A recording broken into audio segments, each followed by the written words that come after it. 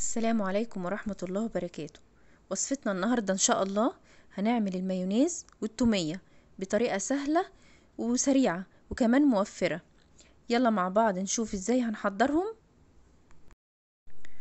المقادير معانا بيضة معلقة صغيرة سكر معلقة صغيرة ملح معلقة صغيرة مستردة لو موجودة.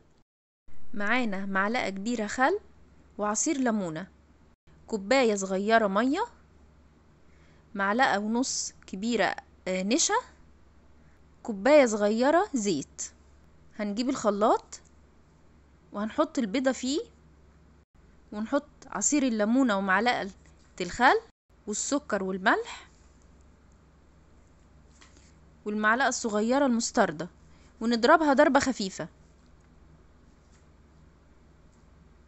هنجيب كده كسرولة نحط فيها المية والنشا ونقلبهم كويس. هنحطهم على النار لحد ما يتقلوا. كأننا بنعمل مهلبية بالظبط. هنقلب كويس.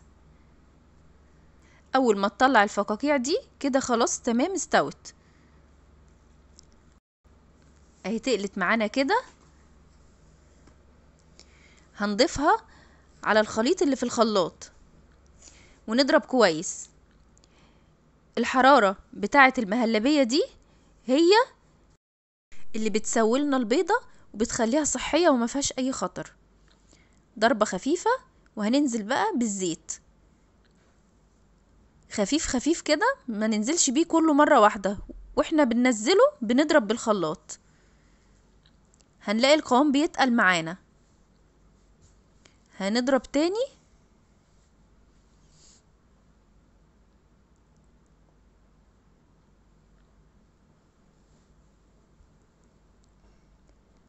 أهو بقى بالقوام دوت.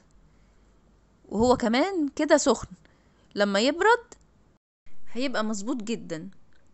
هنوزنه بقى علشان نشوف الكمية دي طلعت لنا قد إيه.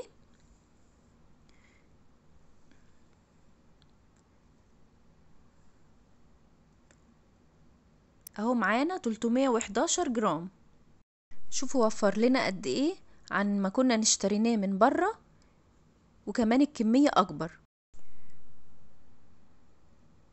علشان نعمل بقى التومية. سهلة جدا. يعني نستخدم معلقة صغيرة توم بودرة أو معلقة صغيرة توم مفروم.